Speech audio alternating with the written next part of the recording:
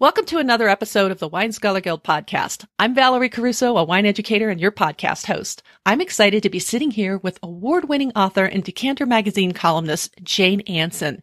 Jane is the author of Wine Revolution and Bordeaux Legends, the 1855 first growth wines, and she leads the master level Bordeaux study program. Welcome, Jane. Hi, Valerie. It's lovely to be speaking to you again. How are you? I'm doing well. It's been about two years, so I'm excited to kind of catch up on some Bordeaux here. And I understand you've got some exciting news. So can we spill the tea on your new book and where you take us inside Bordeaux? Sure. So I've been spending really the last three years working on a big, huge book about Bordeaux, which I am now counting down the days until publication. I think we're going to get the very first copies in March, just before the En Primeur but the official launch is on April the 21st. So, yeah, it's coming up quickly. And can you tell us a little bit uh, about this book? When you say large, I know how many pages this book has, but you talk about the maps that you're going to have. Let's let's talk about what we're going to dig into this book with. So I really hope and feel getting excited about the fact that I think this is going to be a new, a really a new conversation about about Bordeaux. What I've tried to do is to take people behind the scenes, not just of the estates, but also of Bordeaux itself. We're going a lot of going underground and looking at the terroir and looking at the, the, different, the impact that the different bits of Bordeaux have on how the wines taste in a way that maybe we more usually do with the Rhone or with Italy or with Burgundy, but we don't tend to do so much with Bordeaux. So what I've done is work with the really the brilliant researchers and cartographers and geologists who live here and we've come up with completely new maps. Either sometimes i've gone into um, researchers who've had maps that they maybe did years ago that have been hiding in their desks and drawers the whole time and I've got them out and taken them to the, the cartographers and the, the scientists who have who have reworked them. And so what we're going to find is beautiful maps showing all of the different bits of gravel in Bordeaux, all of the different bits of limestone, the different bits of clay, and just trying to put it together to show you in a clear way what difference will it make? What impact will it have on the taste of the wine? And in different kind of vintages where should you be looking to get the the best value? So it sounds like not only in addition to those of us who love wine maps and who study wine pretty much for a living and consistently it sounds like there may be a different angle as far as learning about bordeaux through this book as well I, I think there will be. Certainly for me, I have learnt a different angle of, of what you know what I knew about Bordeaux before. I've definitely found it's deepened my understanding. And the other thing that's lovely, it's a 700 page book. There are 65 maps within it, but they're not just static maps. We've got wonderful gatefold.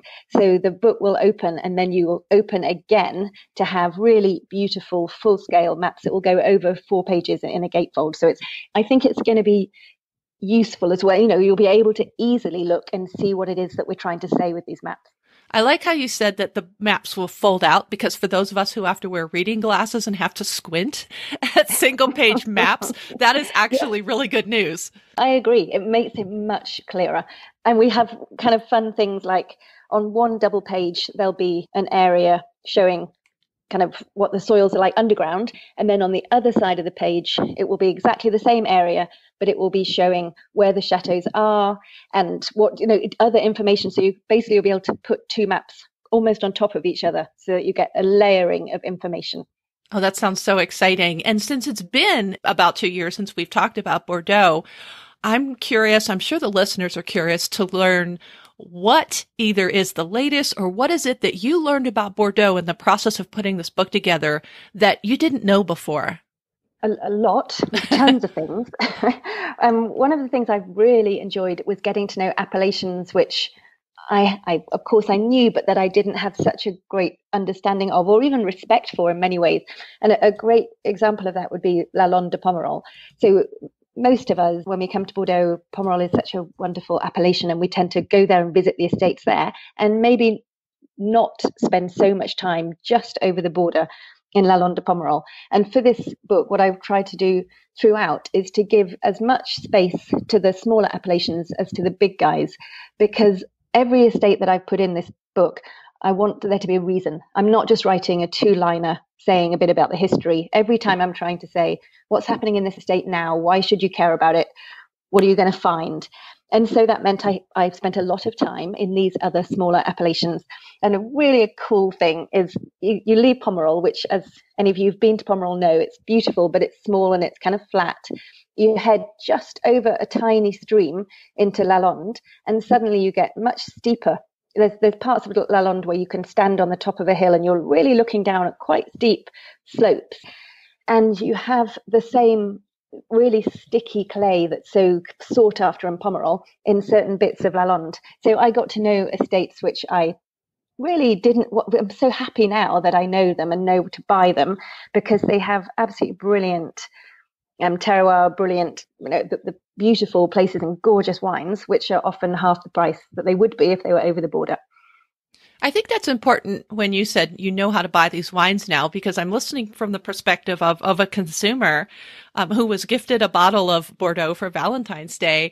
And, and I'm looking at it and I'm like, yeah, I know a little bit about this part of Bordeaux and I can't remember where it was from, but it was one of those things where I'm sure the consumer faces that wall of Bordeaux and maybe it would be nice to understand a little bit more about oh Lalande de Pomerol, you know, and, and the different grapes and the soils that happen over there, as opposed to, like you said, across the stream or across the river, excuse me. So I think that's going to be important from the consumer perspective as well, not just the wine student. I, that's what I've really tried to keep in mind the whole time because I'm a wine consumer. And the other thing that I've tried to do is I went to the scientists and to the geologists and to the you know, real experts. There's a guy called Kees van Leeuwen who is a Dutch professor who's been here for years, and he was really the scientific advisor on the book. But what I've done is think, oh, I'm not you know, a scientist. I'm none of those things. I don't have that expertise. What I have, I hope, is the ability to take what they're saying and to turn it into normal, clear language that is understandable for for those of us who are drinking the wines. You know, what does it actually mean to how the wines will taste? And that was in my head all the way through the research process. And I love that this is coming out, like you said, right before the en primeur. If you wouldn't mind, I know the book launches in April. Can you share any launch party events that are happening around the world? So we have um, the first launch will be in London on the 21st of April, and then two days later in Bordeaux. I'm actually doing two events in London on the Tuesday and the Wednesday, and then I have to get a very early flight on the Thursday back to Bordeaux. So fingers crossed the flight is on time. And then we are in Amsterdam at the end of May. And in fact, Amsterdam is the first public facing. It's in a beautiful, beautiful old bookstore that is called, I hope I don't get this wrong, called Shel, Scheltema, Scheltema Bookstore in Amsterdam on the 28th of May. And that is for anybody who wants to come. I'm sure we'll have some lovely wines there. It's really, it's a stunning bookshop. I'm really excited about that. And then New York and Washington in June. And then we'll be over in the West Coast, California in October. That is a whole year. And that's the one thing that if the, listeners, if you have not been to a book launch, a wine book launch, there's usually wine at that event. And I think that makes the rollout of the book that much more special and kind of brings you into the fold, you know, pun intended, if you will, a little bit better. So I don't know if a lot of listeners might realize that, that a wine book launch can be something so special. And you do, you do feel closer to the content when you are able to listen to the author, sip the wine from that region and really get excited about what's inside the book. Definitely agree. and you were you were asking about um, some of the other new things that's happening in Bordeaux. Yes. Well, so this is something which hopefully as well some of these wines will be at the book launches to taste. But I was just this morning at um, the launch of the new Cru Bourgeois system. So you know the Cru Bourgeois have gone, they've the name Cru Bourgeois has been in Bordeaux for centuries, mm-hmm. but they've had a couple of false starts of trying to make it a, a, real classification. Where in 2003 they launched a classification with three different levels, and it got taken to court and it had to be annulled in the way that has sadly happened with a few rankings in Bordeaux. So they've gone back to the drawing board, reworked it, and just this morning they announced the the, the new um, Cru Bourgeois system. So that's been something exciting and I hope, really hope for them that it that it works this time and that they are able to to keep the chateaus happy enough that um, that there's no no legal battles afterwards. But basically, that this new system will be in place for five years. So if the, these are just Medoc estates, and for the next five years they will have the this ranking of Cru Bourgeois, and then they apply again. And I think they're hoping that because it's only a five year period, even if chateaus are not happy, they're not going to complain too much.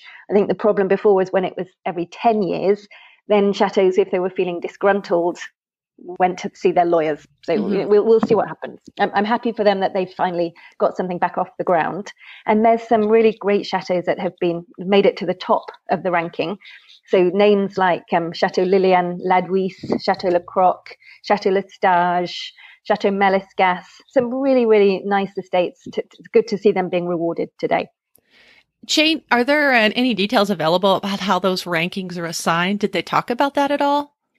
They did. So so let's imagine that they didn't give us exact numbers of how many people applied. So, but we can imagine last time around, around 400 chateaus applied to be a Cru Bourgeois, and about 260 or 70 made it. And that's been the case this time as well. I don't know how many applied, but I know that the final numbers um, there are 179 estates that are actual Cru Bourgeois, and then mm-hmm. 56 that are the next level up, which is Cru Bourgeois Superior and then just 14 have made it to the top of the ranking, which is Cru Bourgeois Exceptionnel. And you said this will be in play for five years. So, five, yeah, so from the 2018 vintage and for the okay. next five vintages from 2018. And then the, then the whole process will happen again, um, I guess, in 2024. Is that right? 2020, 2025. And the whole idea behind the five year chunk of time is to hopefully mitigate some of the litigious things that go on. That there. is me extrapolating, but I am sure that must have, they must have thought, how long can we make sure that the chateaus feel comfortable that they can market, you know, that they can make the most of this, but not so long that they get stressed if they haven't made it to, to exceptionnel or, or superior. And when can we expect to see some of those uh, those labels in the I'm going to say the stateside market because yeah. that's where a lot of us are. Well, interestingly, they were just this morning talking about they have two big um, marketing um, export budgets that they have set aside for this year, and those are America and, and Asia. So I know that they will be in the States actually within the next the 2018 vintages are now bottled, ready to go. So I think you're going to start seeing those in the States really okay. in the next couple of months. But you know, this is a difficult time for Bordeaux in it, both of those markets, in China and in the States right now. They have all kinds of things to deal with, which is um, going to, I would imagine, making making this launch a bit stressful for them.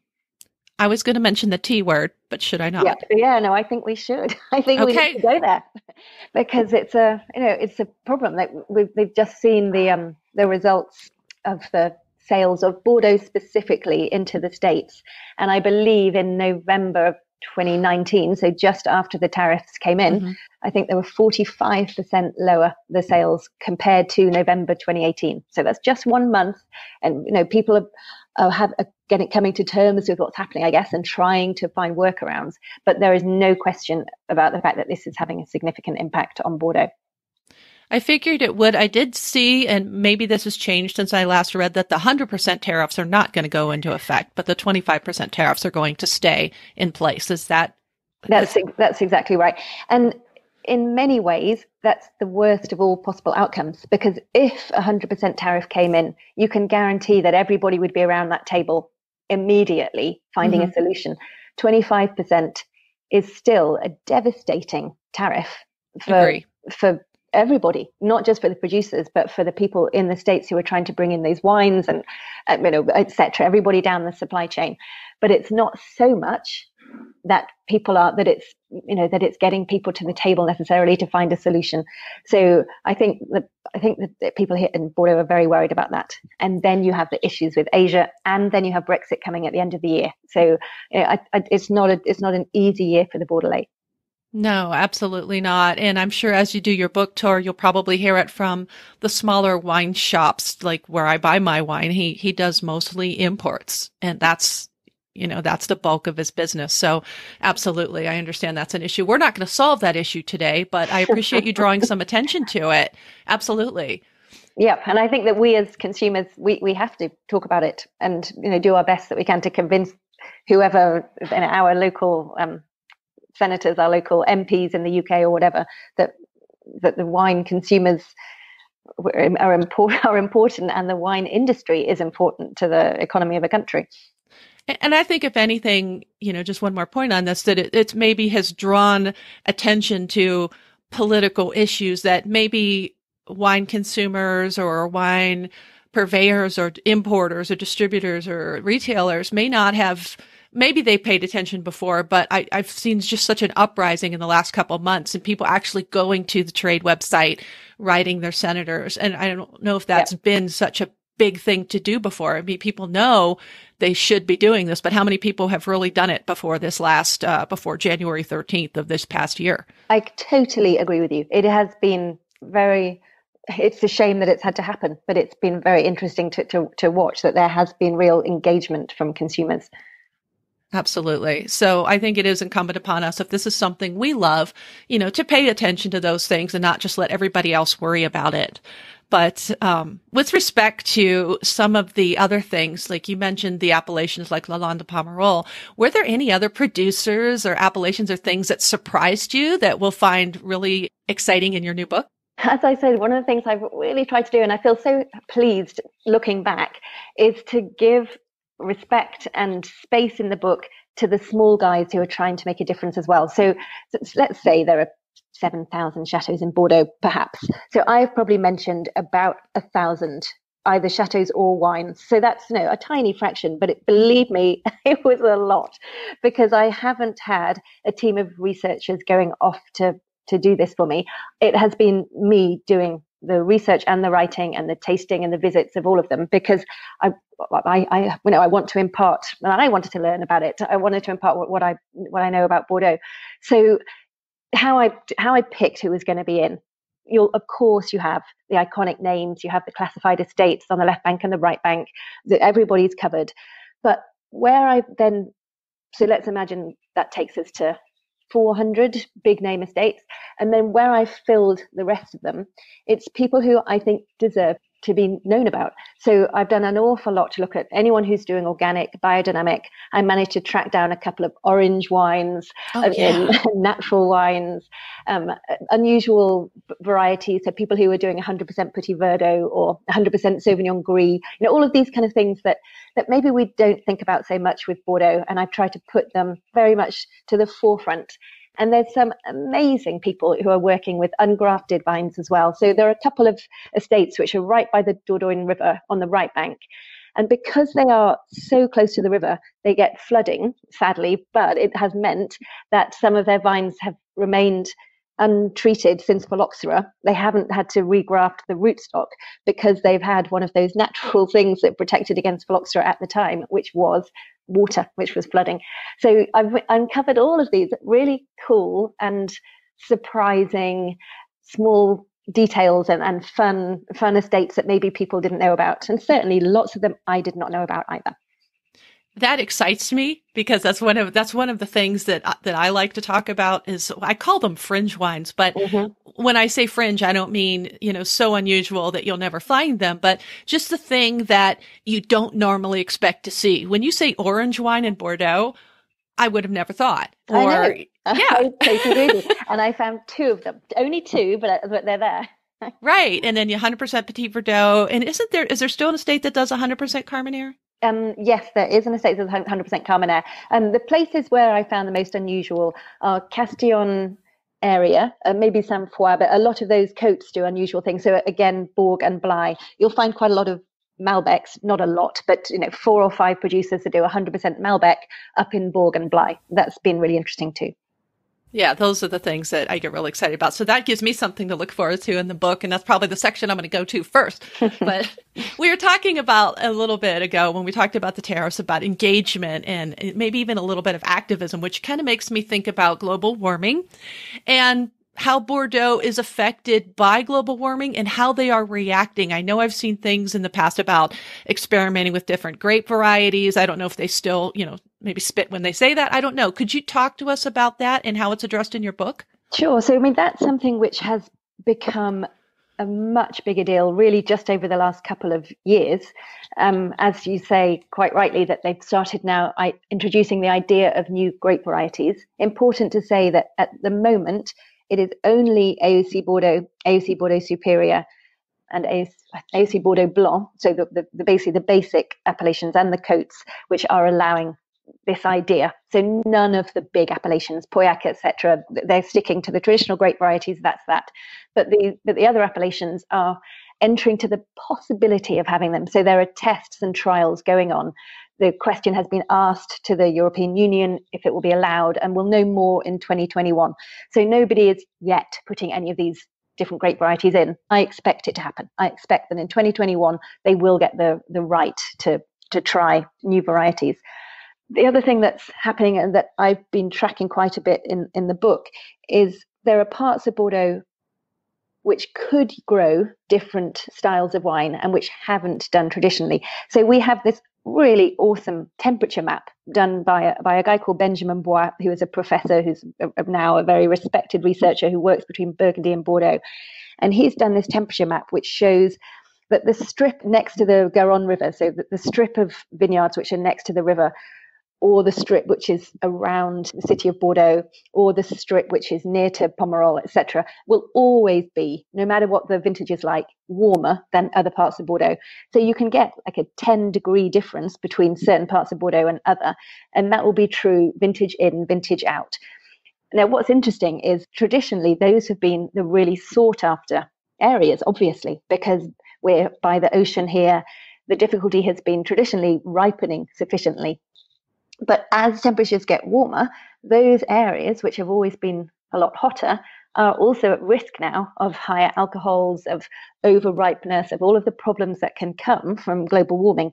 So you then look at this map of the temperature and you start seeing the places which could potentially be great in a few years' time because they have been a little cooler, a bit, bit more difficult, therefore a bit more rustic tannins, some you know green hints, all of these things that happen if if um, fruit doesn't get ripe enough so it's a it's a new way of looking at at Bordeaux and seeing where, where could we be potentially if we get another vintage like 2003 look for the cooler parts of the map and are they actually going to have done really well in that kind of a vintage? Okay so you, they've actually taken it and looked at it in a more optimistic way. It's like oh hey we've got some untapped mm-hmm. promising places to expand on in the future. And I, I want to just ask, I want to go back to the new grapes. It's been a few years since I've probably kept up on it, and I do plan on talking about it in the near future. But I remember seeing Syrah, and that actually Syrah was one time of the original Bordeaux blend. But what other grapes do you think, or have they talked about adding to the Bordeaux blend in the future? Okay, so so the new varieties which they're discussing, which again are, at the moment they've requested them, but they have not yet been accepted. But okay. there are there are seven, I think, which are particularly interesting or that they're particularly hoping for. Um, one of those is a grape which is much more typical in in the port area. That's called Touriga Nacional, Another one is um, Marselan. Marselan is a is a cross between Syrah and Cabernet Sauvignon, and that is one which is planted quite a bit in China, and which actually I've tasted some really good ones from Ningxia in China. I can see that that one could potentially work here because of this this you know, link with Cabernet Sauvignon.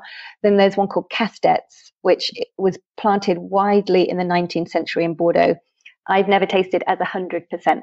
I've tasted it as part of a blend, but I've never tasted it as 100%.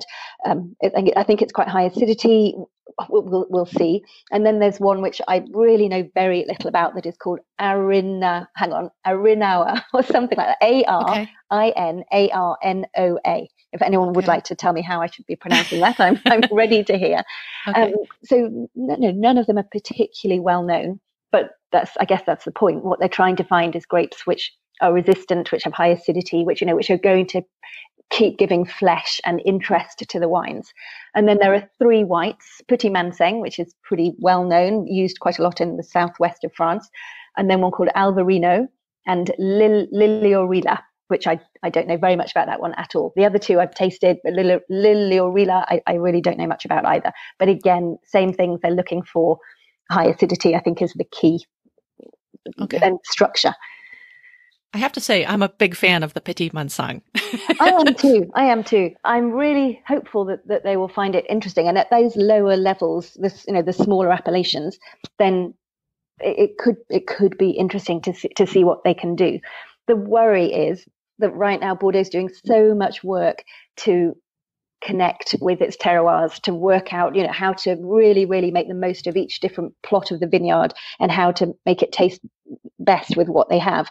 And the worry is that it'll be confusing to add a whole new raft of grapes. And it will again take away this idea of bordeaux being authentic. So that's what i would worry about for them so maybe it'll have to be like a gradual addition and watching the ch- tasting notes change with, yeah. you know, the phenolic ripeness that some of those grapes will bring. And yeah, I agree. In fact, on exactly that note, something I've noticed in the last couple of years on the right bank, particularly in Saint-Emilion, is that more and more people are using Petit Verdot because it's resisting to, you know, Merlot is getting so high in alcohol. So quite a few estates, the Couvent des Jacobins is one I'm thinking of, Yon Figeac, another one, that have planted quite a bit of Petit Verdot. Actually, when you're tasting the wines, because often at, at En Primeur, you know, you're tasting a, a long line of of wines from the same appellation mm-hmm. and they stand out and the first couple of times that i tasted them i thought oh that's kind of weird that's not typical of the appellation and it I, I found it hard to to kind of think where I'd place them. Now I'm starting to to really enjoy that little bit of Petit Verdot in those wines. But I think it's worth asking the question, and for the chateaus, it must be a little concerning because they're, they're taking a risk adding new varieties. Right. I have to believe, though, like you and like me, I only started tasting wine seriously about 20 years ago. But the first thing I was looking for was what's different about what do you have that stands out? And I want to say there might be a, a, decent amount of consumers in the market that are looking for, hey, what's different about this wine? So I would I hope. I agree. In fact, one of the most fun tastings that I have done in the last couple of years was of the Cote de Bordeaux, and the criteria that I went in for with the tasting was I said, show me all of your unusual varieties uh, or what, what's going on that's different. So anything that was made without sulfur or that had these things we were talking about, Sauvignon Gris or, you know, whatever, or an orange wine. I wanted to see all of them. And it was such a fun um, tasting and I came out of it really energized and excited about about what was happening in Bordeaux. And that's not always how you feel after you've tasted, you know, a, a, a hundred wines. But to come out of it thinking, oh, you know, this is cool. There's a lot of people doing something different was really fun. Right. And if you're the producer, you want to be remembered. Yep. I agree. You want to stand out. Well, we were talking about connecting to the terroir, which it sounds like your book does an amazing job of doing. So I'm so excited to see that. So can we kind of transition into this immersion trip to Bordeaux that's happening later this year and what can, we can look forward to? Excellent. So that is being held in October, the 4th to the 9th of October. And this will be the second time that I've done a trip with you guys. So thank you for asking me back. I first did one in, in July of 2019. And it was a great week because the people that come on the trip are just so interested and interesting and ask great questions. And it was really, I really enjoyed it. So we decided to do it again this year. And what I wanted to do this year was to take people to the vineyards during harvest because there's something to talk about during harvest. It's a real window into how a wine region works, you know, how, obviously how wine gets made, but really the politics behind it as well and the, and the atmosphere. And it's not something which is easy to do unless you're being brought there by somebody like the Wine Scholar Guild, you know, like somebody mm-hmm. who actually has and in the connections into those estates because it's not a time of year when they tend to be open to the public. So it was a risk. I thought, you know, let's see if we can get it, get something working, and we have. So we've got some really great estates. So we'll be there for five days. Um, going to places like Chateau Clinet, Chateau Angelus, La Conseillante, Figeac, you know, really wonderful names. I think we've got to, we're going to Lafite and to Mouton, um, to Margaux, to Beychevelle it's really so, so beautiful estates. And I've also tried to make sure that we go to some of the smaller estates. We're going to Fronsac to a brilliant property called La Dauphine, which is organic, biodynamic, doing a lot of these new things that we're talking about. And at some of them, people are going to be able to have a harvest lunch at one point. We're, we're working on trying to taste some grape must so as it's just come in yes. off the off the vines so people can really get a behind the scenes look into into how um, harvest works I think that is a magical time to be doing a wine tour. I'm not a middle of the summer kind of person. I would rather be there at harvest. And like you said, who better to take you inside Bordeaux than Jane Anson? Jane, is there anything else that you want to say about your book or the tour or whatever before we sign off today? It's perfect. Thank you so much. Well, I guess the only thing is, is that we are arranging there to be a, a discount for Wine Scholar Guild people. So I think there will be a 10% discount and I will at some point very soon have a code for you guys to, to be able to put into the sites to get it. Excellent. And listeners, to find out more about this study trip, the Bordeaux Master Level course, and the member discount on Jane's new book, Inside Bordeaux, go to winescholarguild.org.